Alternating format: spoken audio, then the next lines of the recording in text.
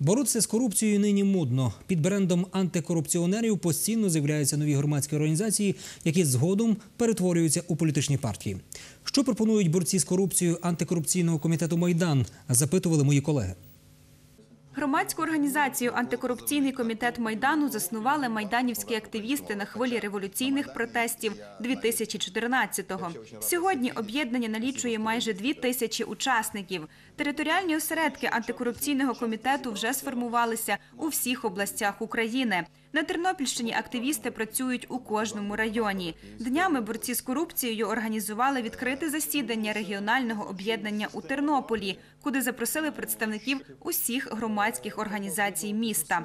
В антикорупційному комітеті майдану пропонують об'єднатися усім активістам, чиї ідеї та програмні цілі співпадають у боротьбі з корупцією та бездієвістю влади.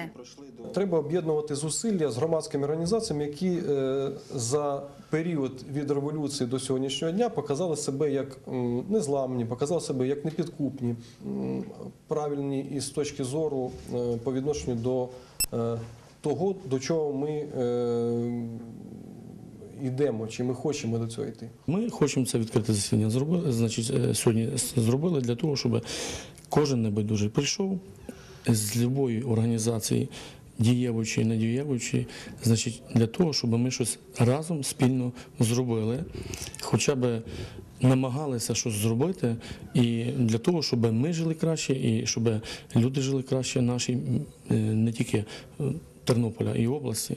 Ну і звичайно, щоб якесь було майбутнє залишилося нашим дітям. Діяльність громадської організації в основному спрямована на допомогу людям, які стикаються з корупцією та хабарництвом. Юристи антикорупційного комітету на волонтерських засадах допомагають громадянам у судових позовах.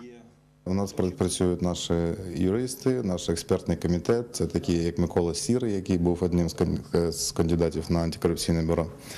Е, Головне в країні убрати, прибрати точніше. Ті закони, ті законодавчі підзаконні акти, ті норма- нормативку, яка е, дає можливість брати ці гроші. Голова правління організації Олексій Ісаєв вже переконливо говорить про формування нової політичної сили на базі нинішньої громадської організації. Запитуємо, за чий кошт планують реалізовувати свої програмні цілі.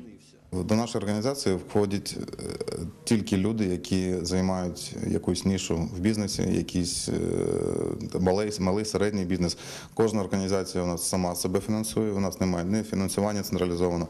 В Києві організація живе част- частково за мої гроші, частково за внески людей, які в нас теж є підприємці. Те, що наміри активістів добрі і потрібні, важко заперечити. Та скільком людям вони допомогли і чи дієва їхня боротьба питання риторичне.